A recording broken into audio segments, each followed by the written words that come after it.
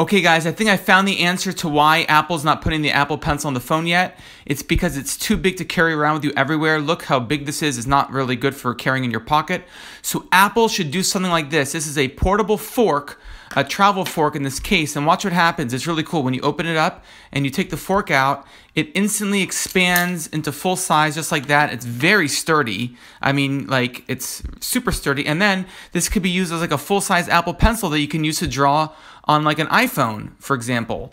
A full-size Apple Pencil right there. And, and then when you're done with it, you fold the top in like that. You pull this down, you fold it on the up like that, and then you just put it in the case, and then there you go. Look how compact that is, super easy to carry around with you. So this would be the perfect solution for the Apple Pencil on the iPhone.